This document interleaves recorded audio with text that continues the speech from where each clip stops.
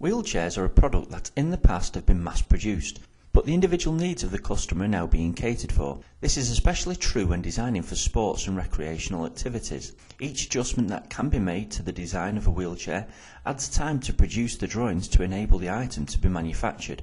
Each preferential option that can be selected has the potential to create design errors. DriveWorksXpress can eliminate this time and potential for mistakes by capturing design knowledge and formulating rules on the behaviour of the changeable parameters. To design a new wheelchair, we need to answer a few questions about our requirements, so the chair that is automatically produced is exactly what we require.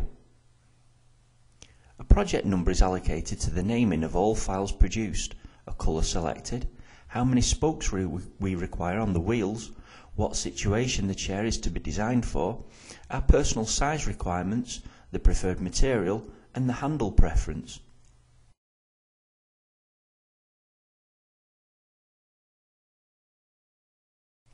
Once Next is selected, all parts, assemblies and drawings required to manufacture the chair are automatically generated. The new supporting frame is adjusted to, to the exact sizes entered and a drawing is generated to manufacture this item. The foot support is created to suit the size change and have the selected material properties and colour driven into them. The new wheels include the preference for the spoke quantity. Finally, the new chair assembly is generated along with any accompanying drawings.